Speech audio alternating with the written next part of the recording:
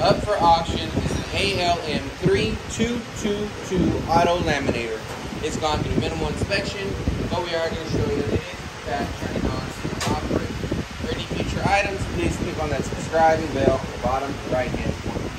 We are going to show you that the machine is turning on, heating up, laminating, and cutting. Unfortunately, we can't use it automatically because it is missing a tray, but we already have our sheet on the side inserted.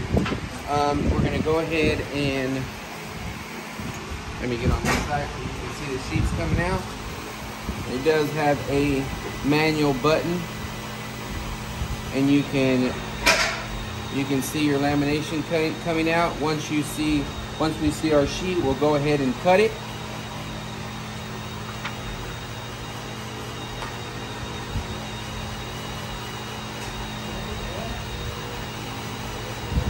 So you can at least see it's laminating, feeding manually.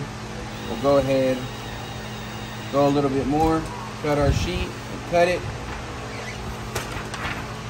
and it cuts your sheet. And laminate it on both sides.